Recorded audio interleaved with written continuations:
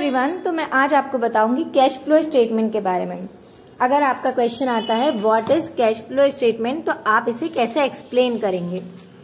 Cash flow statement क्या होता है? कैश फ्लो स्टेटमेंट एक ऐसा स्टेटमेंट है, जो कि हमारे इंटरप्राइज में जितने भी चेंजेस आते हैं कैश में, वो हमें बताता है। कितना पैसा आया, कितना पैसा गया, किस जगह हमारा पैसा नहीं है, किस जगह हमारा पैसा कम है ये हमें सारी चीज़ें। कैश पोजीशन पूरी हमें बता देता है हमारे इंटरप्राइज की। Cash flow statement means statement of change in cash positions of the enterprise it analyses the causes of changes in cash positions between the two financial statements it is a statement which shows inflows and outflows of cash and cash equivalents in an enterprise during a specific period of time In the cash flow statement, there is a combination of two words cash and flow. Cash flow statement जो है वो दो words का combination है एक cash का और एक फ्लो का. Advantages of cash flow statement आप कोई दूसरे पॉइंट्स भी लिख सकते हैं क्योंकि आपसे सिर्फ़ क्वेश्चन किया है कैश फ्लो स्टेटमेंट क्या है. आप कुछ भी लिख सकते हैं जो भी कैश फ्लो स्टेटमेंट के बारे में जानते हैं. Advantages of cash flow statement financial planning cash flow analysis helps the management as a tool of the financial planning which enables the management regarding plan for future investments repayment of long term loans interest on loans expansion of plan payment of dividend etcetera cash flow statement जो है, उसे cash flow एनालिस भी बोल सकते हैं। और ये management को फ्यूचर में डिसीज़न लेने के लिए बहुत हेल्पफुल होता है।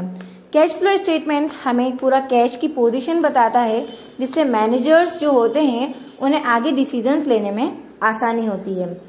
सेकेंड पॉइंट है helpful in financial analysis financial analysis में ये बहुत हेल्पफुल होता है। Proper allocation of available cash resources cash is always scarce in business where the cash funds are available they are to be suitably allocated according to priorities मैं पूरा question explain नहीं कर रही हूँ क्योंकि वीडियो बहुत लंबी हो जाएगी।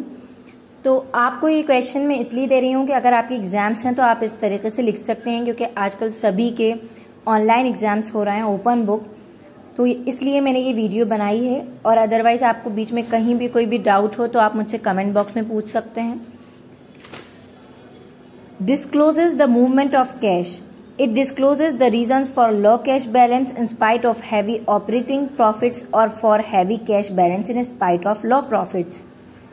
सबसे मेन पॉइंट्स जो इसके हैं जो आपको लिखना ही है cash flow from operating activities as per accounting standard three operating activities are the principal revenue producing activities of the enterprise. For example, for a company dealing in manufacturing of garments, purchase raw materials, payment of manufacturing expenses, sale of garments, etc.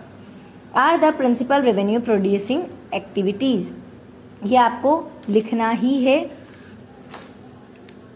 Next आता है limitations of cash flow statement जिस तरीके से इसके advantages हैं ऐसे ही इसके limitations भी हैं non cash transactions are ignored मैं इसका पॉइंट बता देती हूँ आप लोग उसमें से लिख लीजिएगा कैश फ्लो स्टेटमेंट में जो नॉन कैश ट्रांजेक्शन होते हैं, उन्हें इग्नोर किया जाता है। सिर्फ़ कैश ट्रांजेक्शन को ही इसके अंदर लिखा जाता है। लैक ऑफ़ एक्यूरेसी ये ऐसा है कि फाइनेंशियल स्टेटमेंट की हेल्प से बनाया जाता है।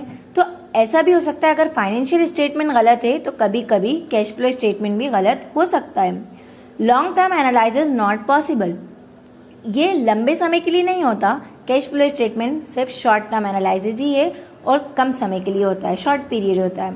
Working capital ignored cash flow statement में वर्किंग कैपिटल को इग्नोर किया जाता है क्योंकि वर्किंग कैपिटल का एक बहुत बड़ा एरिया होता है, बहुत बड़ा कॉन्सेप्ट होता है। तो इसलिए ये फंड फ्लो स्टेटमेंट में आता है और fund flow statement working capital का सही रिज़ल्ट बताता है। उसके बाद आता है investing activities and financing activities आप चाहें तो एडवांटेजेस और लिमिटेशंस नहीं लिखें लेकिन ऑपरेटिंग एक्टिविटीज़ इन्वेस्टिंग एक्टिविटीज़ और फाइनेंसिंग एक्टिविटीज़ ज़रूर लिखें। अगर आपको ये वीडियो हेल्पफुल लगी हो तो प्लीज़ मेरे चैनल को सब्सक्राइब और मेरी वीडियो को लाइक ज़रूर करें। Thanks for watching